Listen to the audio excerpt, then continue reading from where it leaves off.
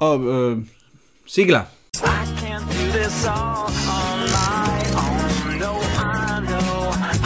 Superman. Bentornati su Nomo Mammazzo, bentornati nella rubrica fumetti e bentornati nella rubrica Bugs Comics, Samuel Stern, che dir si voglia, che ora comprende sia Samuel Stern che Calia sul mio canale YouTube. Benvenuti in questa recensione del numero 40 di Samuel Stern, Spiriti sulla pelle di Antonella Liverano Moscoviti alla sceneggiatura e di Francesca Biscotti ai disegni. Eh, innanzitutto lasciatemi dire che sono davvero contento che siamo arrivati al numero 40, una bella cifra tonda,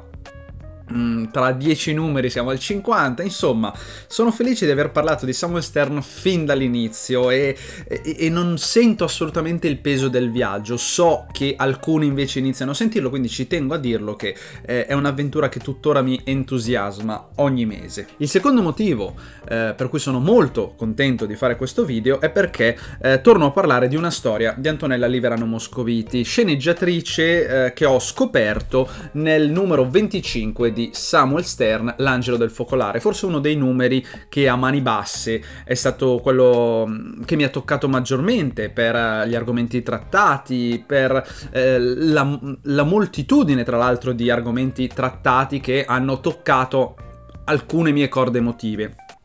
E da questo, da questo eh, da questo numero poi sono andato a, a conoscere Antonella, eh, l'ho intervistata, abbiamo fatto delle live assieme, chi segue il mio canale e soprattutto anche gli altri social, tra cui Twitch, sa che abbiamo anche fatto eh, delle live di argomenti diversi, la mia live intollerante dove eh, Antonella è stata più volte ospite, quindi sono felice di aver creato questo rapporto che, che, spero di poter definire eh, amicizia con la sceneggiatrice e sono felice di parlare di questo numero 40 con, eh, con una consapevolezza diversa, quindi diciamo sto parlando di un numero che ha scritto una persona che conosco, che conosco al di fuori anche del, del rapporto lettore-sceneggiatore. Quindi è una premessa anche necessaria che va fatta eh, proprio perché dovete prendere il mio giudizio, la mia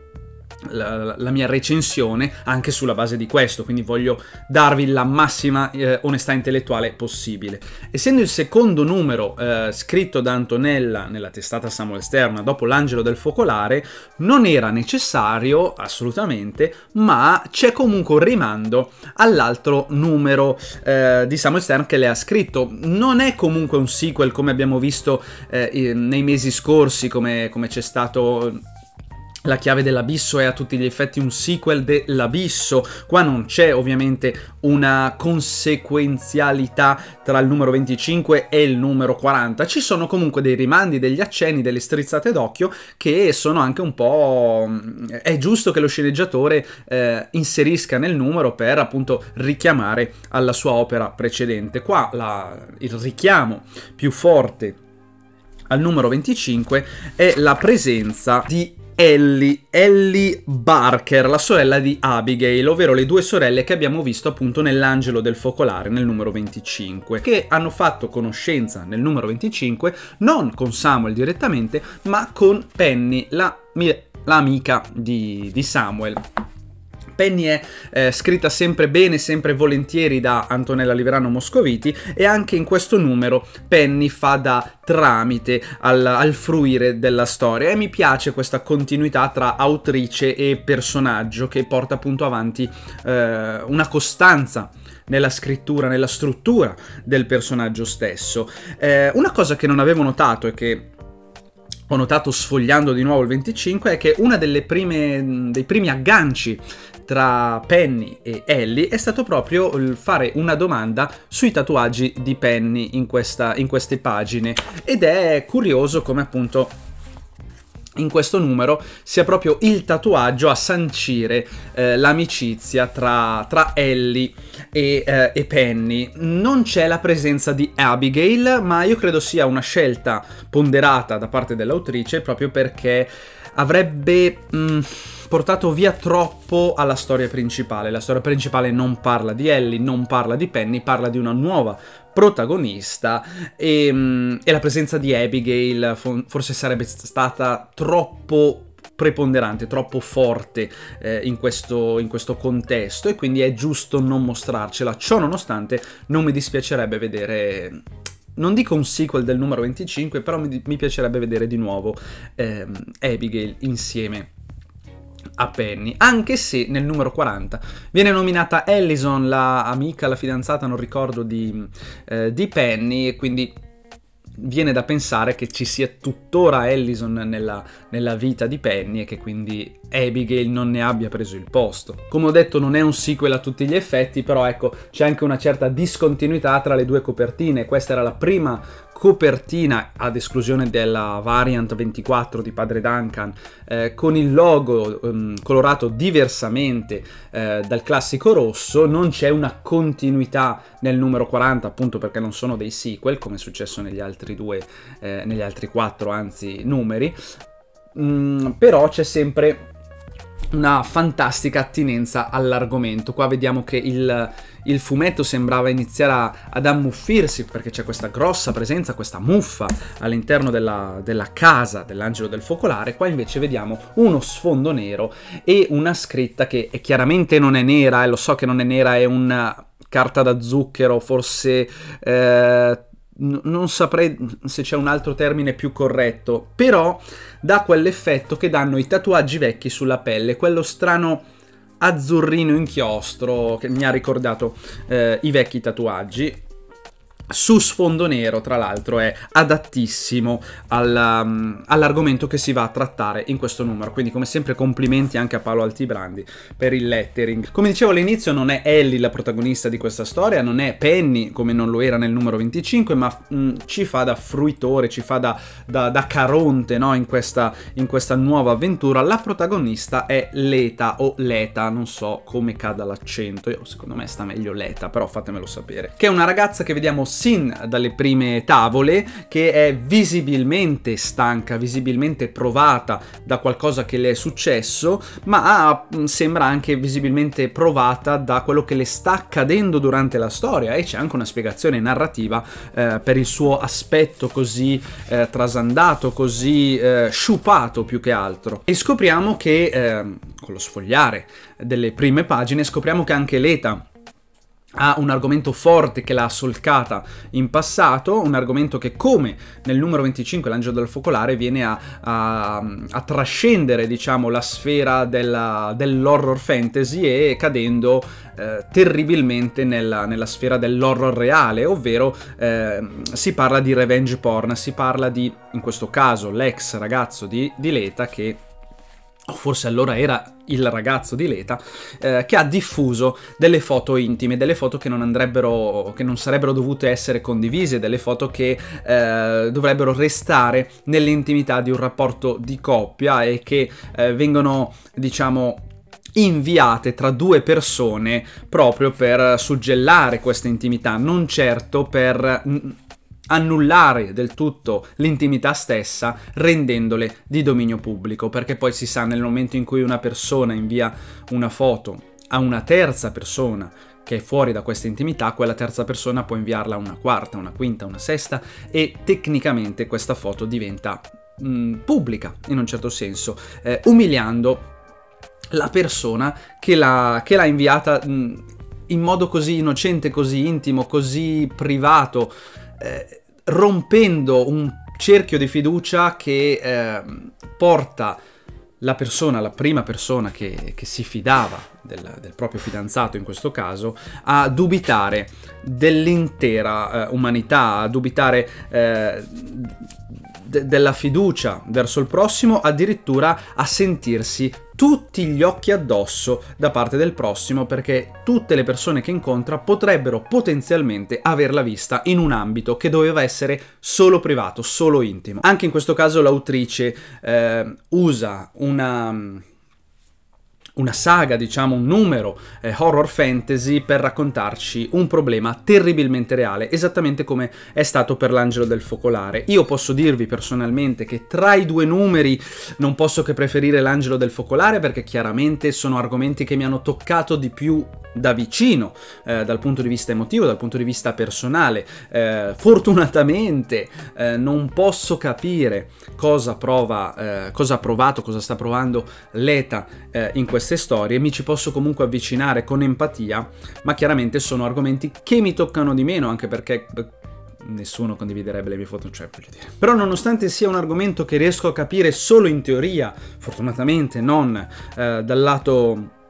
empirico dal lato, dal lato pratico, eh, riesco a percepire tutta la, eh, l'angoscia che l'ETA eh, sta provando. Lo vediamo anche in una scena molto particolare dove Samuel deve fare il suo mojo per ehm, capire se è posseduto o meno, quindi deve toccare fisicamente la ragazza e l'ETA viene sbalzata indietro da, da un senso di eh, quasi di, di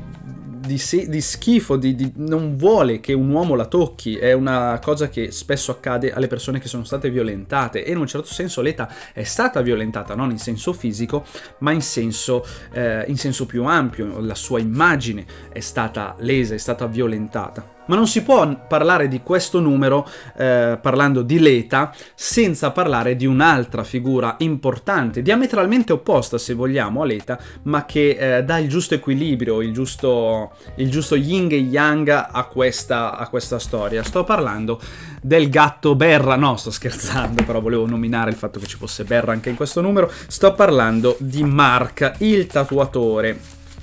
che è un personaggio eh, che comunque ha, una, ha, un volto bonario, bonaccione, ma che nasconde dietro una certa eh, rabbia, una certa frustrazione nel, nel, non riuscire a essere visto. Eh, ci sono questi due spiriti affini e diametralmente opposti che sono l'Eta, che è stata vista quando lei non avrebbe voluto essere vista eh, da, da più persone, eh, contrapposta appunto al, al, carattere, all'anima di Mark che invece vuole eh, che la sua arte venga vista, venga vista da tutti. Lui vuole sfondare, lui vuole essere di pubblico lubidri, lub, vabbè, vuole essere di pubblico dominio, vuole che quello che crea